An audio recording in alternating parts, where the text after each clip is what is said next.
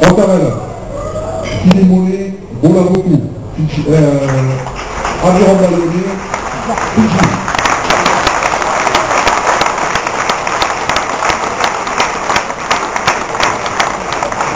Loïc Mazia.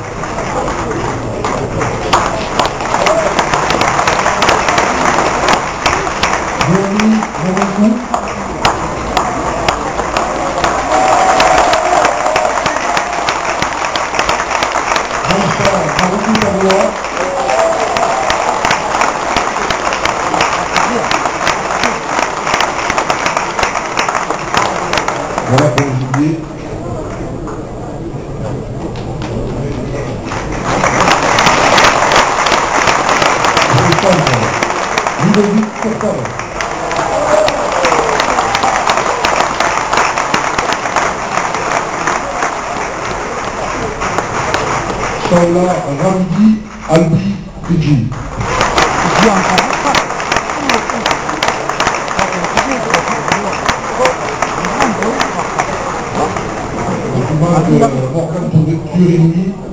pour la piste du Golden Range Australie qui sont là mardi. Voilà. Le parieur Laurent Diaz.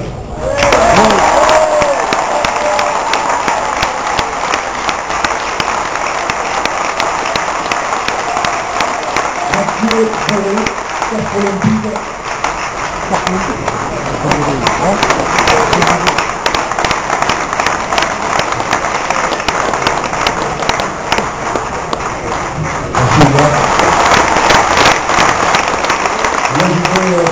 le micro à Jérôme Daré, directeur du centre de formation, qui va nous annoncer des, des joueurs qui ont rejoint un petit peu la, la préparation physique avec les professionnels et qui attendent là, euh, sous la pluie.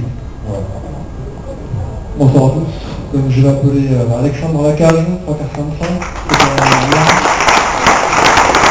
Jérémy Lin, Denis Mollet, qui est un lien aussi. Olivier Lavec, 340, qui est un lien aussi.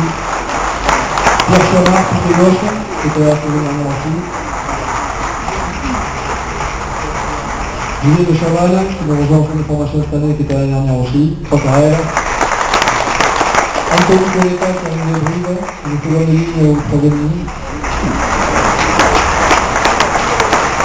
C'est plutôt Alexandre, qui était l'année dernière, qui est un premier je parle. Jean-Louis Henry, la saison dernière aussi. Voilà, donc dans les parties effectifs, et puis il y a quelques absents qui passent leur examen euh, de fin d'année. Donc il y aura une charnière internationale 2018, une troisième ligne internationale, et, euh, euh, Thomas Larieux qui était peu tout à l'heure, qui est dans 5 en même temps aussi. Voilà. Michel, fait plus qu'un est de faire. Euh, c'est c'est la, fille de tous les instants qui, à toute heure de la nuit et de la journée, répond à nos joueurs. C'est elle qui se dépatouille de, tous les, problèmes avec euh, l'IRM, le chiffre, cela, les analyses et tout. Merci. Et puis surtout euh, à toute l'équipe de, bénévoles, de, de médecins, euh, de radiologues, de chirurgiens euh, qui sont euh, avec nous, toujours derrière. Merci. Je ne sais pas s'il y en a, mais ils sont surtout de, bons, supporters aussi.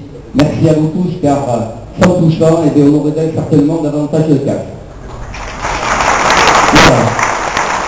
Alors la tendance de cette année, c'est bien sûr, euh, bien sûr de, se dire que ce club qui est quand même un club prestigieux, on, le- dit souvent, on nous le dit souvent à l'extérieur, et notre vœu, avec Olivier et l'ensemble de, de tous nos, dirigeants, c'est de faire revenir un petit peu toutes nos figures de, ce club. Car il est inadmissible que dans les vestiaires, quand certains d'entre eux rentrent, parce qu'ils ont un passé passé, bien, on ne les reconnaisse pas.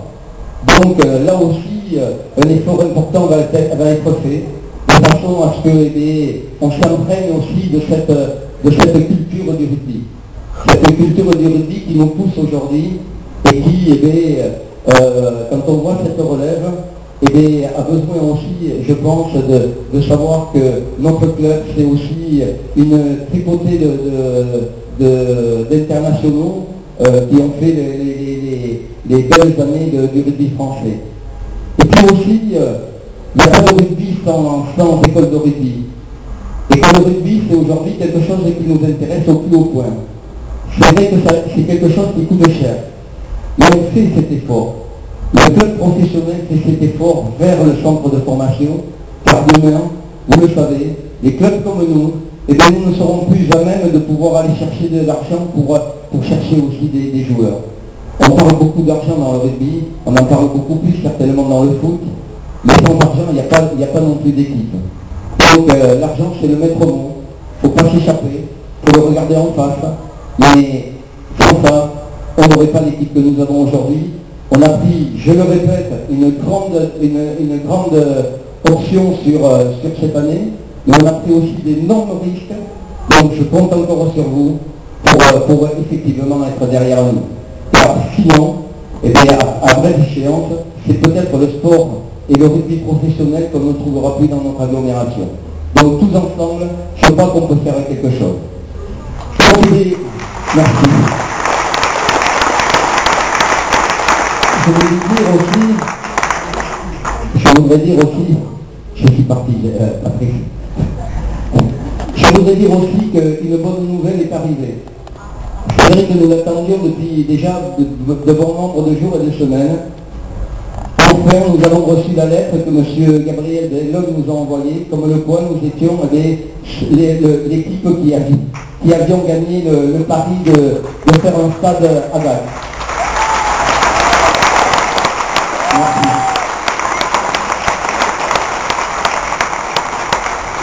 C'est vrai que quand tout à l'heure j'ai parlé d'équipe, c'est vrai qu'une équipe relativement courte, mais quand on sait que tous les autres autour de nous participent à cette réflexion et nous poussent aussi, mais malheureusement pour faire avancer les choses, il faut qu'elles soient relativement restreintes. Et avec tout ça, nous avons avancé, nous avons fait un projet, et, il ne nous reste plus que maintenant à trouver tous les sous qui nous manquent pour voir un, pro- un projet qui normalement devrait arriver sur votre écran. Et donc je disais, bien sûr que certains d'entre vous se disent, mais pourquoi un stade? Et de demander à nos joueurs qui sont là, si quand on leur a parlé d'un nouveau stade, de nouveaux équipements et d'un nouveau challenge, ils ne sont pas au- aussi venus pour ça. Alors je crois qu'aujourd'hui, c'est pas de dire demain, on a aujourd'hui on n'a que 4 000 ou 5 000 ou 6 000 spectateurs, c'est demain d'en faire venir 7 000, 8 000, 9 000 et des jeunes et des femmes et tout ça pour que justement autour de ce stade il y ait justement une communion extraordinaire autour de, ce club. Car ce club le mérite, ce club a besoin de vous et avec un stade, avec les équipements que nous aurons, eh bien, on, intéressera aussi les jeunes. Car les jeunes aussi voudront venir jouer sur ce stade qui va, au lieu d'être là où vous êtes, eh bien, vous vous retrouverez ici. Donc déjà, vous serez davantage en communion avec, avec notre équipe. Déjà, rien que ça. Voyez, vous avez gagné 20 mètres.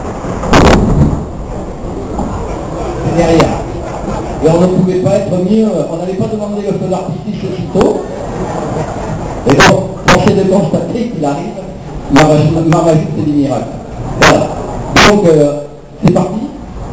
Bon, si c'est pas parti, on va, on va écouter le cercle choral et on va vous montrer et vous expliquer un petit peu le grand challenge des deux prochaines années.